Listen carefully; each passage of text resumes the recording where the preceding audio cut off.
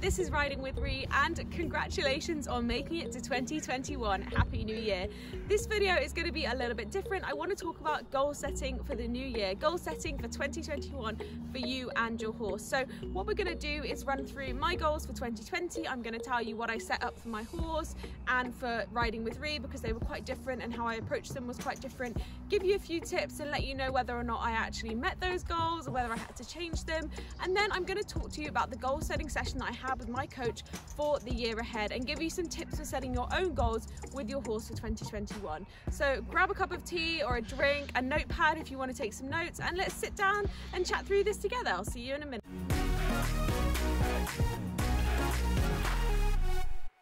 So firstly, let me run you through my goals for 2020 and let me start with the horse ones. Really at the start of this year, the big question I had for myself and the big sort of goal, I guess, was can I have a horse? And it sounds really simple, but under that there were loads of questions, you know, how much does it cost? Do I have the time? Do I want one really? Can I do it? So what I did was broke that big question down into lots of little bite-sized pieces that progressed throughout the year. So when I started the year, I said, okay, I quite want to have horses regularly back in my life now. Um, I didn't want to go back to a riding school. I had dabbled in a couple of lessons prior to 2020 and it just wasn't quite the right fit for me. I wanted one step more. So I said, okay, well, can I share a horse a couple of days a week? So of course I put an advert out there, as you might know already, and I found Ted and I started sharing Ted two days a week. And I asked myself, you know, am I enjoying this? Can I fit this in alongside work? Can I afford this? And when I ticked those boxes and I felt felt comfortable. It actually worked out serendipitously. Ted's owner said, do you want an extra day? And I said, yeah, okay. So I took on an extra day during the week. Um, and again, I asked myself the same questions. Could I afford it? Do I have the time? Am I still enjoying this? So we progressed all the way up to having me on for me having Ted on full loan. So in October of this year, I took Ted on full loan. And before it even got to that point, I'd done a load of sums and budgeting, and you might have seen my video on could I afford a horse? I did all of that really as I started sharing Ted, just to see, you know, could I eventually get my own horse in the future? That was sort of the end goal. So I did loads of budgeting and broke down my goal into achievable steps. And now, of course, I'm full owning Ted. And I did come up against a bit of a rub in November, which was, yes, yes I can afford it. Yes I still want it. Do I have the time? And this is where I was struggling. I was really struggling with having Ted on DIY alongside my job and finding the time at the start and the end of the day when my busiest time at work was to do Ted as well. And that is when I spoke to Ted's owners and we made the decision to move him to full livery. And then of course I had to do more sums because full livery is more expensive. So I was re-asking myself those three questions to reach this goal of could I afford a horse? And now I'm at the point where I can comfortably say at the end of this year yes I can afford a horse. I'm loaning one now. Yes I have time to do it. And yes I still want to do it. And I think that third one is a really important question to ask yourself is all the time that you're doing this is this still something I want is this still something I'm enjoying? Because actually, I think sometimes we can be so tied to wanting to achieve a goal that we sort of forget why we started in the beginning. And I think that's a really important thing to, um, to do. Now, riding with Rhi didn't start until February, and I honestly had absolutely no idea what to expect. I'd never set up an Instagram like this or a YouTube channel like this before, and I did loads and loads of research into growth and how quickly you can expect to grow. And I think the first milestone for any YouTuber is hitting a thousand subscribers because that is when of course you can monetize your channel with adverts and that's when you can start making money from your channel to then put back into equipment and other things like that. So I think that was a goal that I wanted to achieve and I, I'd done a lot of research into how long it takes to reach a thousand subscribers and the average number that I was getting was about a year. So I told myself essentially that I was going to try and hit essentially 100 subscribers a month and for the first few months of doing Riding with Rhi on YouTube I kept um, a tally of all of my numbers like my views and my followers and same on my Instagram. And they were really small but I think it was so important at that stage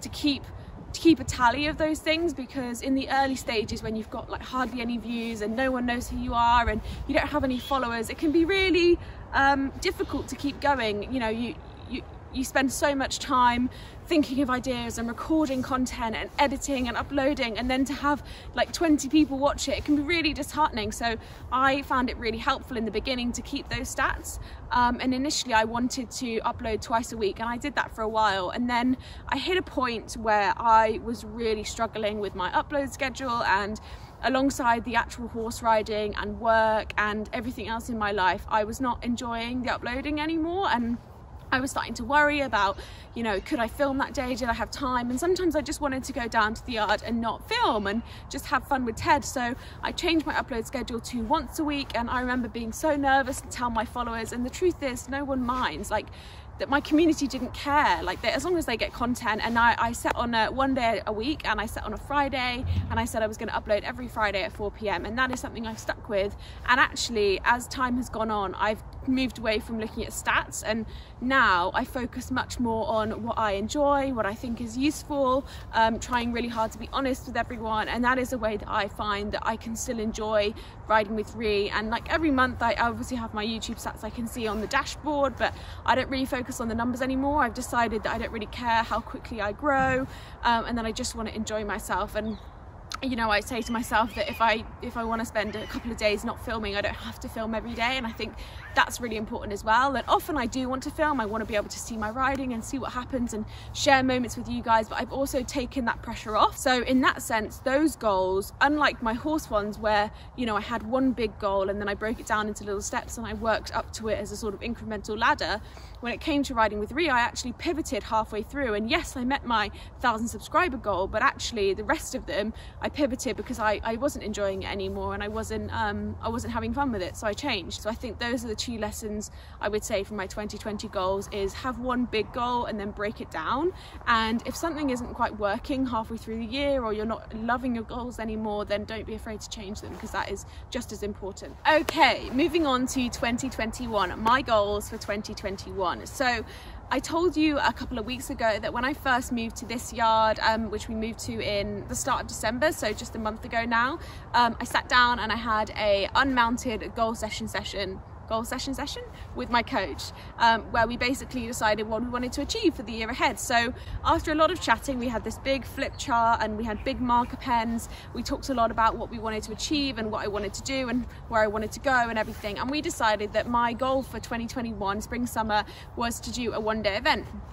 And we talked a lot about whether we should quantify that with well you should come in the top 10 or you should get 70% on your dressage or you should go clear or whatever but I decided that actually just getting round a one day event with Ted would be more than enough. So we decided not to put any extra pressures on it because, um, you know, my coach reminded me that the whole point of these goals is that you work towards them and then you achieve them and then you feel great. And actually, had I gone to a one day event and got around it, I'd have probably felt amazing. But if I'd have added this quantifiable element of you need to come in the top 10 and actually I didn't, you know, I think inside I'd still feel really proud that I got round it, but then I'd feel disappointed because I hadn't hit this goal that I'd set. So I think for me, it's really important that we set achievable goals that we really can um, hit and that we want to work towards.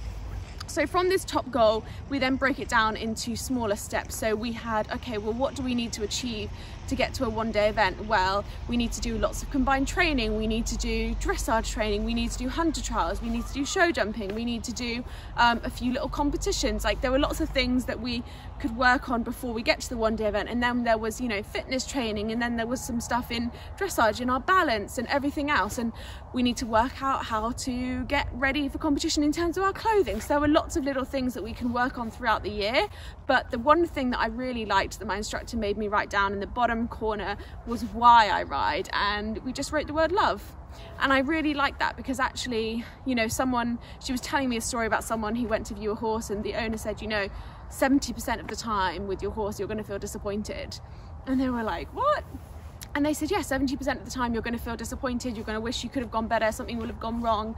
And actually, it's the 30% that keeps us going, and it's the love of it that keeps us going. And it's really important not to lose sight of why we're doing this in the first place, because we're not here for the medals and the rosettes, really. We're here because we love it and we love our horses. So I think that was such a lovely thing to keep in mind. So to sum up, for your horse goals of 2021, have one big goal at the top, maybe two, but I think for me, one was plenty. That's a lot to be getting on with. And then work out what you actually need need to do, you know, logically and realistically, what do you need to do to actually reach that goal and break it down into really small achievable steps so that, you know, I've got in my equestrian planner, I've got, you know, you've got your three goals for the year and then you've got a monthly goal and then you've got a weekly goal. And I think that kind of breaking down the pyramid with your, with your main goal at the top and then little goals underneath is so, so important if you do actually want to achieve it. And then on the riding with Rhi's side, um, I didn't want to set too many crazy goals for myself this year. I'm not worried about how much I grow. Obviously, I'm so excited that we're finally starting to reach new people. Um, I'm really happy with the companies that I'm working with. It would be really amazing for 2021 to have a sponsor so that I can start putting money back into the business, upgrading my equipment, getting a camera, all of those kind of things. But I'm also aware that, you know, there are much bigger uh, equestrian influencers out there and that you know I appreciate that you know there are higher levels of the sport. And so I'm sort of not tied to it. I understand it's a very competitive landscape and I'm not I'm not willing to rush on that. I'm, I'm going to wait and see how we get on. I'm super happy that I've launched the planners. I'm really hoping in 2021 to do a version two of those, potentially with more colours. So there's a lot to be getting on with. And right now, I just want to focus on enjoying it, keeping to my upload schedule, and hopefully meeting more of you in the future. You know, that would be an amazing thing. There's a couple of cool things I've got on the back burner, people that I want to go and see, yard tours that I've spoken about that COVID has stopped unfortunately, but there's some really exciting things that I've got pinned to the wall for 2021 so I'm just really excited to keep sharing that content and enjoying it. So I guess to sum up, my, uh, my summary for this goal setting session is set a goal that is, yes, a challenge for you, but it's also achievable and make sure that you're thinking not only about what you can achieve, but also what your horse can achieve as well. Because I think if you're struggling, if your horse struggles to jump, you know, two foot and your, your goal for the year is to jump, you know, a four foot round on show jumping, it might be a little bit too much if your horse is a little bit older and you're asking to do them something really difficult, you know, make sure that you're approaching it as a partnership for you and your horse so that it's not too difficult for both of you. Do something that makes you feel good. Don't set a goal that's going to then tie you up into knots and make you feel really anxious. That's not the point. The point is to give you something to strive for and make you feel really proud. And don't be afraid to change it halfway through the year. You know, if I decided halfway through the year that actually I really am enjoying the dressage side of things. And actually my goal for the year maybe would be to do a big affiliated dressage competition instead. Like that's fine. It's your goal. And the point is that you enjoy it and that you are able at the end of the year to reflect on it and feel really good. I hope that you do have an amazing year ahead. I hugely appreciate you being here with me. It is so amazing to have such a great community. I think we've really built something quite special on the Riding with Rhi channels everyone is really positive and everyone's really sort of yeah friendly and enthusiastic and just loves what they do so I really appreciate you being here and I'm really, really excited for the year ahead and all of the content that we've got to share. So yes, stick around and uh, have a great first day of the year or whenever you're watching this and we will see you next week. Fridays at 4 p.m. UK time is my upload schedule. So hopefully I'll see you then. Bye.